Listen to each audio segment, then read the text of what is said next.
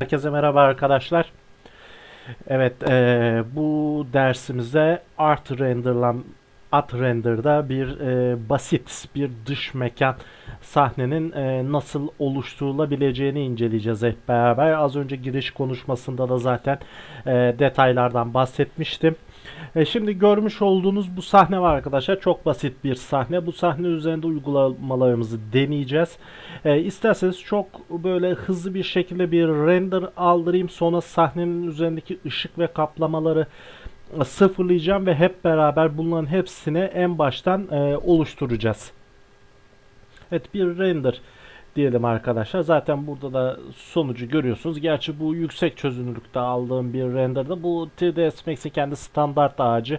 Hani üzerine herhangi bir kaplama uygulamadım. Yani sadece gözüksün diye şuraya da cam da uygulamamışız. Fark etmez. Hep beraber oraya da camı uygularız. Şimdi arkadaşlar sahnemiz e, gördüğünüz gibi bu şekilde.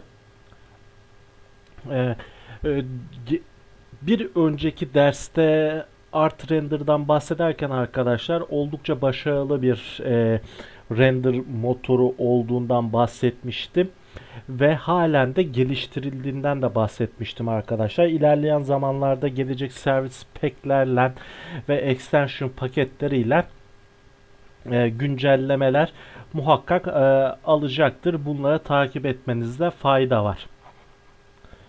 Evet sahnemiz bu şekilde arkadaşlar. Hani bekleyelim bitirsin sahneyi. Böyle birazcık üzerinde lekeli çıkacak e, renderımız.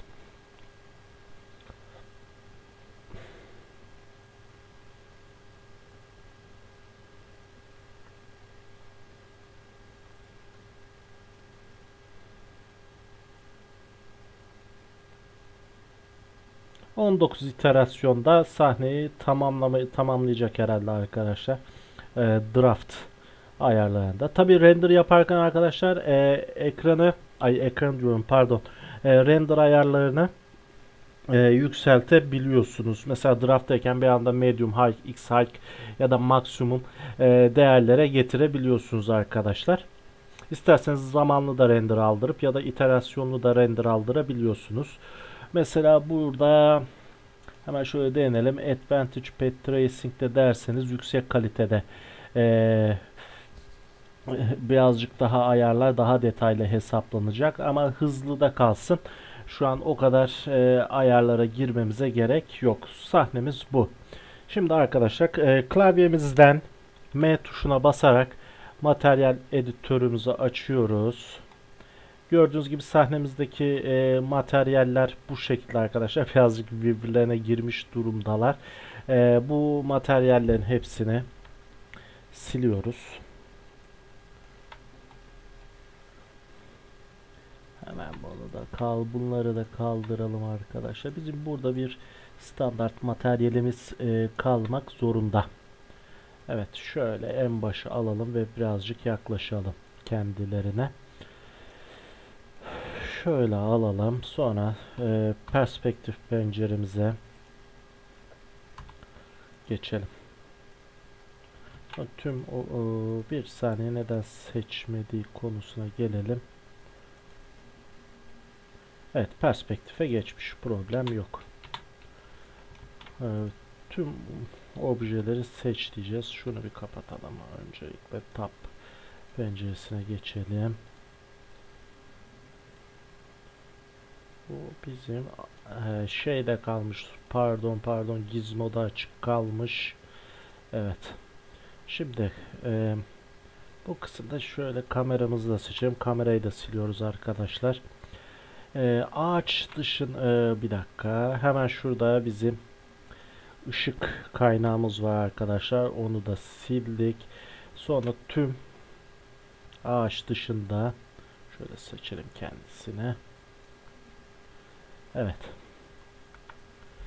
materyalimizi atıyoruz seçili olanlara uygula aşağıya koyduk arkadaşlar artık bizim sahnemizdeki her şey gri renkte çıkacak. Gördüğünüz gibi. Şu an zaten herhangi bir e, aydınlatmada yok ama e, Environment'ta arkadaşlar bir Sky Portal kalmış gözüküyor. Onu silmeyi unuttuk. Gelelim hemen. Bunu da clear diyelim. Bunu da e, pardon no experts diyelim ve tekrar render'ımızı alalım. Şu anda default olarak e, sahnemiz aydınlanmakta arkadaşlar. Hemen kapatalım. Sonra e, ilk olarak arkadaşlar e, buradan light ve e, bir detayı belirtmekte fayda görüyorum.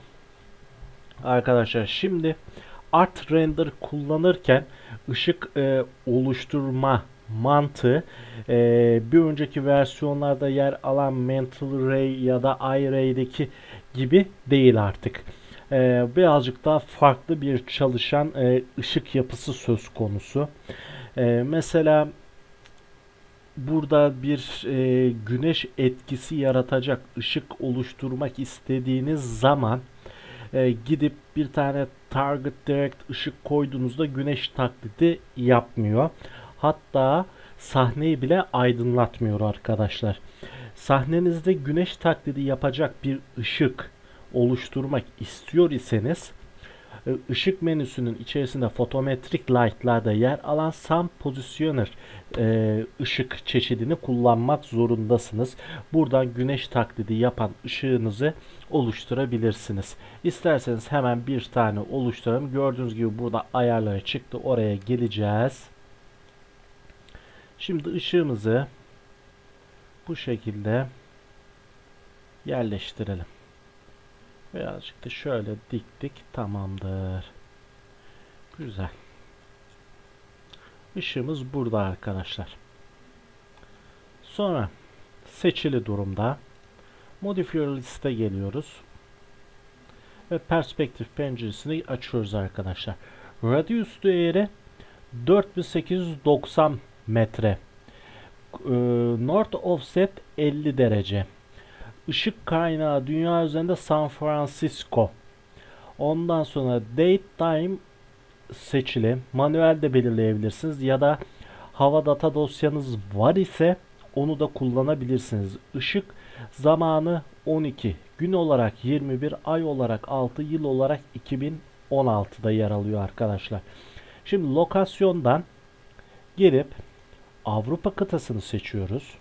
Bu bir önceki 3ds Max e, sürümlerinde de yer alıyordu. Bu kısımdan hemen e, İstanbul'u seçiyoruz arkadaşlar. OK diyoruz. Gördüğünüz gibi koordinatlarımız değişti. Sonrasında e, bugün ayın 8'i ve 5. aydayız. Işığımızı ona göre ayarladık arkadaşlar. Burada Daylight Saving Time diyor. Bu kısmı animasyon içinde kullanabilirsiniz arkadaşlar. Ee, e, güneşin dünya çevresindeki dönme zamanını da oradan belirleyebiliyorsunuz. Yapacağımız işlem bu kadardı. Şu an e, aslında biz bunu e, doğru günümüzde Mayıs ayındayız. Evet tamam. O şekilde kalabilir. 12 saat zaman diliminden hesaplıyor.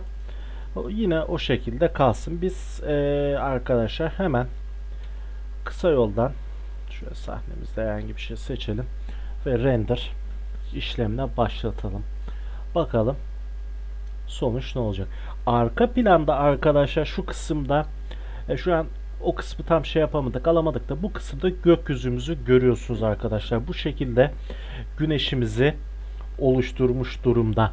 Yani bizim verdiğimiz e, e, koordinatlar sonrasında e, saat dilimi diyelim ona. Gerçi herhangi bir saat e, vermemiştik ama default üzerinden hareket etti. Ondan sonra gün ve ayda güneşin hangi pozisyonda nerede olacağını hesaplayarak bizim güneşimizi oluşturdu. E, sahnedeki pürüzlenmelere bakmayın bunu sık sık söylüyorum. Ondan sonra oluşması gereken en doğru ışık oluştu arkadaşlar. arka planda gökyüzümüzü de oluşturdu. Şimdi e, bu kısımdan birazcık daha uzaklaşalım. E, bunun sebebi siz oluşan gökyüzünü de görün. Hemen bu şekilde bir tane daha render alalım. Gördüğünüz gibi gökyüzümüz burada arkadaşlar. Biraz sonra environment'e nasıl e, atama yaptığını, e, neler kullandığını zaten renderımız bitti. Klavyemizden 8 tuşuna basıyoruz arkadaşlar. Evet açılan environment penceresinde arkadaşlar hemen şöyle üzerinde duralım. Fiziksel güneş ve gökyüzü arkadaşlar. Tekrar şöyle üstüne getirelim. Bunu kullanıyor. Expose Control'de fiziksel kameramızın kontrollerini kullanıyor. Gerçi e, sahnemizde şu an e, fiziksel kamerayı daha oluşturmadık. Oluşturacağız. Otomatik olarak ekliyor. Hani burada bize demek istediği şu. En doğru ve en gerçekçi sonucu elde edebilmeniz için fiziksel kamera kullanmanız gerekiyor. Hani target ya da free kamera daha doğrusu hepsini bir araya toplayalım. Standart kamera kullanmak e, birazcık daha işinizi zorlaştırır. Alacağınız sonucu da değiştirir arkadaşlar. E, fiziksel kamera zaten hem Art Render'la uyumlu hem de diğer render motorları ile de uyumlu bir kamera arkadaşlar. O bakımdan herhangi bir e, kafanıza soru işareti kalmasın. Bu kısımda yapabileceği e, pardon yapacağımız herhangi bir şey yok. Otomatik olarak zaten ayarları kendisi buraya oluşturdu. Şimdi bunu da kapatalım arkadaşlar. Hemen tekrar binamıza yoğunlaşalım. Gelelim bu şekilde. Sonra klavyemizden Ctrl C yaparak arkadaşlar fiziksel kameramızı oluşturduk. Sonra tekrar klavyemizden M tuşuna basıyoruz ve materyal editörümüzü açıyoruz. Birazcık da uzaklaşalım. Şimdi sahnemize geri döneceğiz. Bu standartımız burada kalsın. Şimdi biz bu sahnemizde nasıl materyaller kullanacağız ve ne çeşit materyaller kullanacağız? Materyallerimizi oluştururken neler yapacağız? Şimdi kısaca sizlere bunu anlatayım. Sonrasında uygulamaya geçelim. Öncelikle bu yan tarafı düşünmeyin arkadaşlar. Burası e, boş bir kutu olarak düşünün. Bizim asıl uygulama yapacağımız cephe burası. Kaldırım ve yol. Şimdi arkadaşlar kapımız klasik bir ahşap kapı olacak. Buradaki pardon şundan yaparsak daha iyi. Şu kısım cam olacak. Bu kısımlar cam oluyor arkadaşlar. Ahşap oluyor. Bu kısımları beton yapıyoruz. Zaten Max dosyasını sizden paylaşacağım. İndirmek isterseniz indirip üzerindeki ayarlara bakabilirsiniz. Ya da benzeri bir uygulama yapacak iseniz şayet e, daha değişik e, kullanabilirsiniz. Ağacımız burada. Ağaç üzerinde herhangi bir e, kaplama uygulamaya gerek yok. Kaldırımımız için bir texture kullanacağız arkadaşlar. Bu kısım sarı olacak ve bu kısım da asfalt olacak.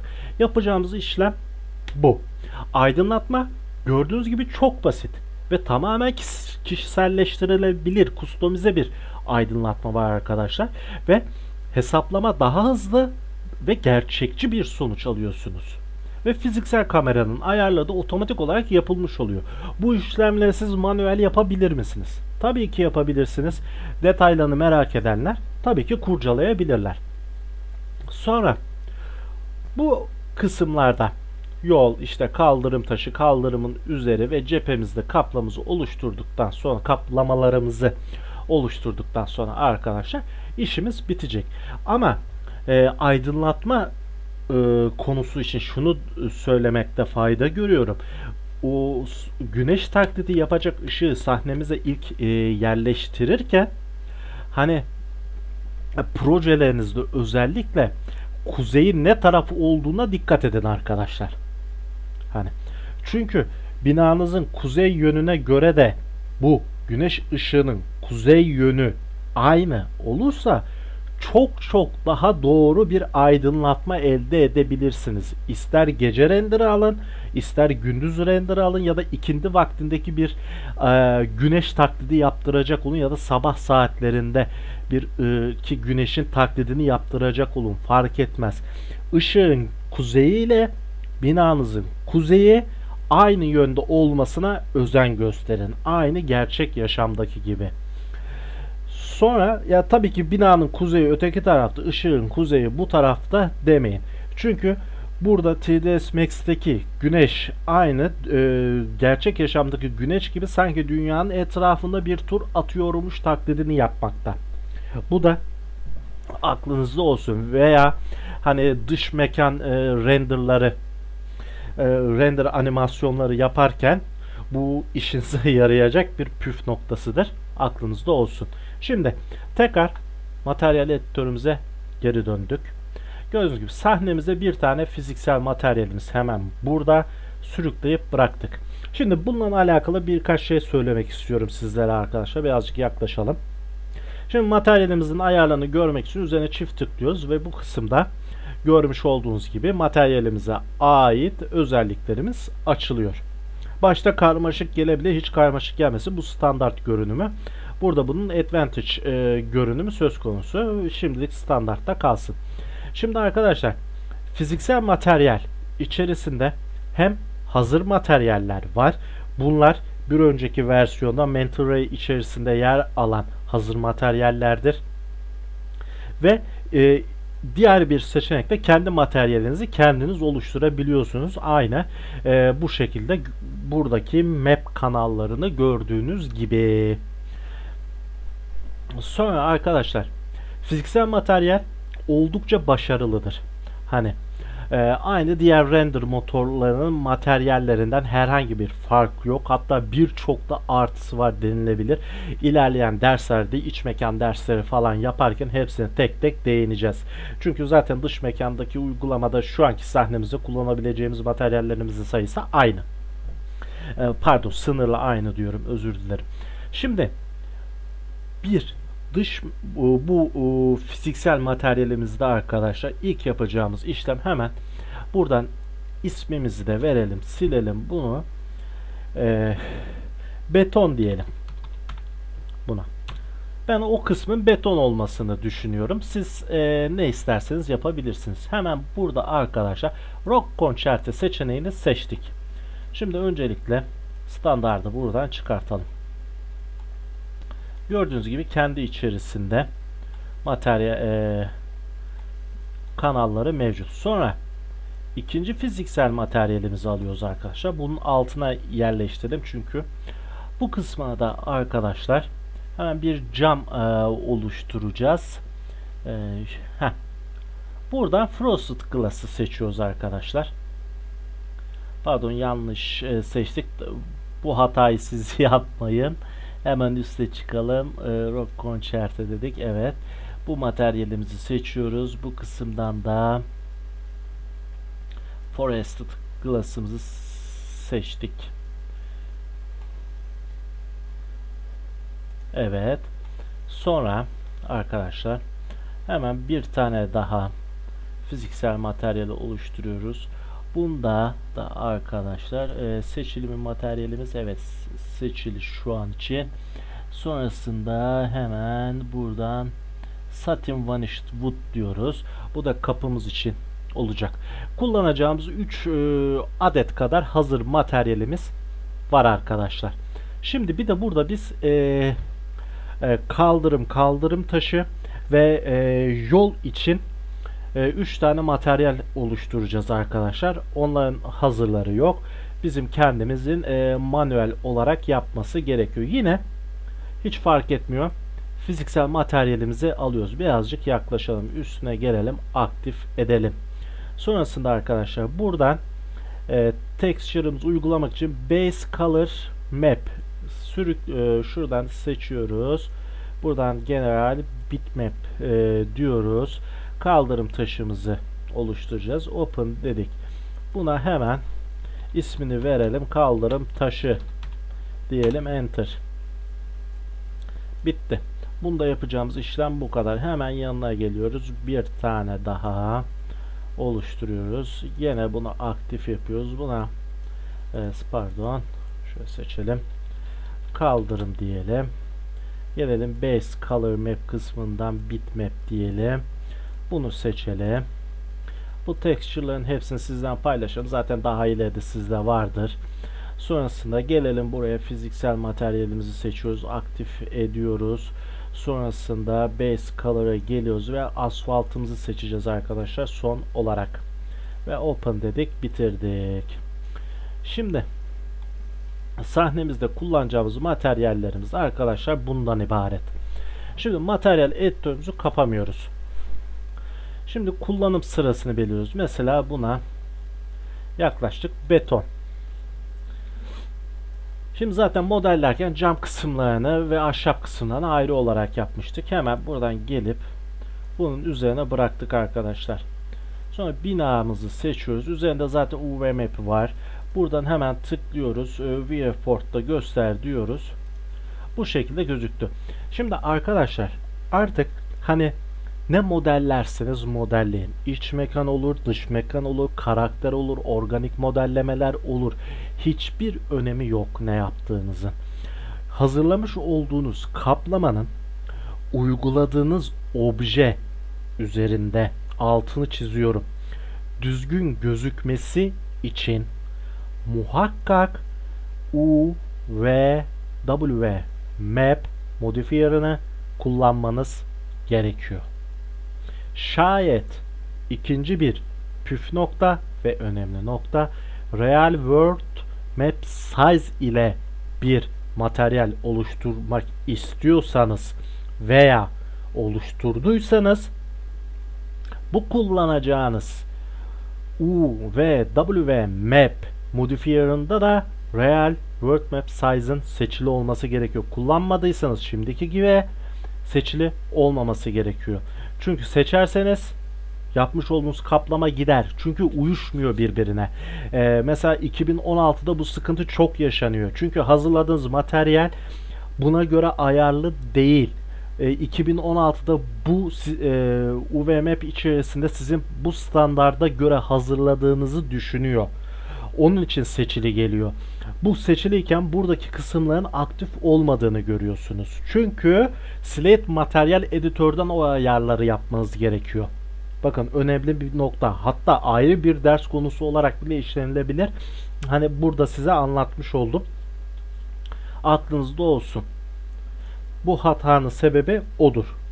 Sonrasında gördüğünüz gibi buraya kaplamamız oluştu. Şimdi hemen kapımızın kaplamasını atalım. O da burada. Hemen seçili. Şunu birazcık daha şöyle alalım. Buradan seçtik. Kapımıza sürükledik. Bıraktık. Tamamdır. Sonra buralarda bir yerde bir de cam oluşturmuştuk. Evet burada.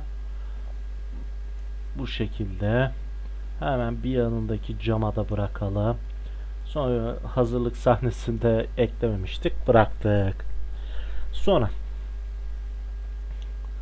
Gelelim kaldırımımıza. Materyal editörde bir yerini bulalım onun. Evet kaldırım olarak burada bulduk. Hemen seçemedik özür dilerim. Hemen hemen bırakıyorum. Tamamdır. Sonrasında bu asfaltımız bizim kaldırım taşımız vardı. Hemen şu şekilde üzerine uygulamamızı yapalım. Tabii ki göster diyelim arkadaşlar. Materyalin viewport. Ya burada göstermesek de zaten renderımızda çıkacak. Buna da diyelim. E, viewport'ta göster diye gördüğünüz gibi. Sonra asfalt vardı. Onu da gelelim bırakalım. Burada göster diyelim. Evet. Şimdi arkadaşlar basit bir renderimizi alalım. Klavye kısa yol tuşu Shift Q. Aynı anda basıyorsunuz. O kadar. Ya da F9'a basarsanız da render alabilirsiniz. Şimdi bunların arkadaşlar yansıttığını görüyorsunuz değil mi? Render iyice tamamen bir bitsin.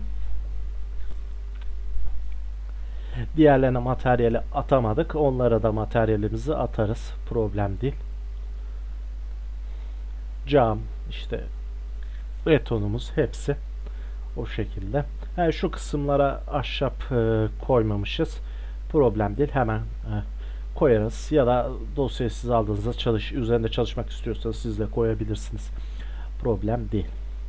Şimdi bunların yansıtma sebepleri arkadaşlar eee Hemen tekrar materyal editörümüze gelelim. Ekranı büyütelim. Öncelikle bu kaldırıma gelelim. Kaldırım seçtik. Bu kısımdaki roughness seçeneğinin sıfır olmasıdır.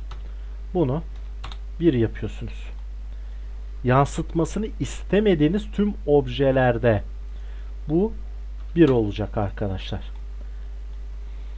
Sonrasında bunun için de aynı şey geçerli. Bir yapıyoruz. Bizim şuralarda betonumuz vardı. Evet. Ha, o zaten seçiliymiş. Camda yapmaya gerek yok. Son kapı vardı. Hemen kapımızı seçelim. 0.64'müş. Tamam. Şimdi tekrar bir renderımızı alalım. Ve sonuca bakalım.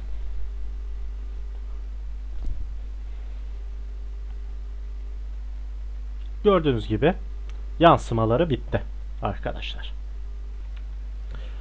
Evet arkadaşlar gördüğünüz gibi yansımalarımız kayboldu. Ee, olması gerektiği gibi de şu an gözüküyorlar. Sonra arkadaşlar materyal editörümüze geri dönelim. Buradan pardon şöyle çekelim. Hemen. Şimdi bir koyacağız, bir koymayacağız. Kadrajımıza girdiği kadarıyla yaptık arkadaşlar. Sonra hemen bizim buralarda bir tane ahşap e, materyalimiz vardı. Şimdi gelelim bu kısma. Poliye geliyoruz arkadaşlar. Seçiyoruz. Bu kısımlarımızı şöyle şöyle evet şu şekilde yine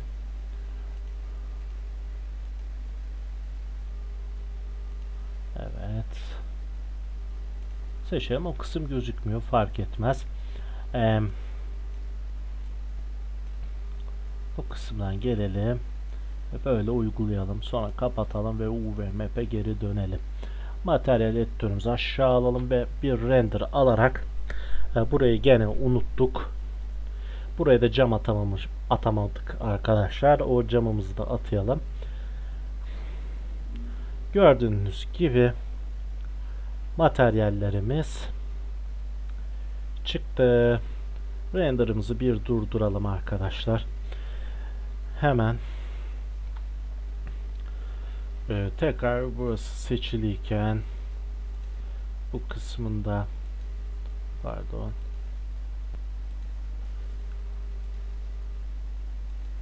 kaplama sorunumu halledelim. Evet. Bu kısımla alakalı sorunumuz son, e, bitti. Hemen şöyle uzaklaşalım. Camımızı bulalım burada. Slate materyal editörün arkadaşlar çok da güzel yanları hiç materyal bitecek derdiniz, slot bitecek derdiniz yok. Sahnemizi bir kaydedelim. Sonra hemen render setup açıkmış zaten nerede? Evet burada. Sonra dosyayı filtrelemeyi açalım. Bunu medium'a getirelim. Hatta high diyelim çözünürlüğümüz zaten 1920'ye 1080 ve render diyelim. Sonucumuzu bekleyelim hep beraber.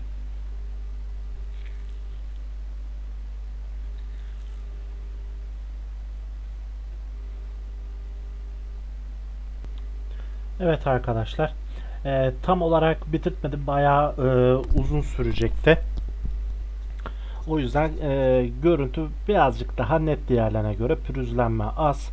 E, gördüğünüz gibi sub diffslerimiz kaliteli, e, ışık oldukça başarılı arkadaşlar. Tabii ki siz daha güçlü bir ışıkta elde edebilirsiniz. E, yapılması gereken her şey bu kadar e, arkadaşlar. Umarım sizler için faydalı bir ders olmuştur. Bir sonraki derste görüşmek üzere. Mutlu olun.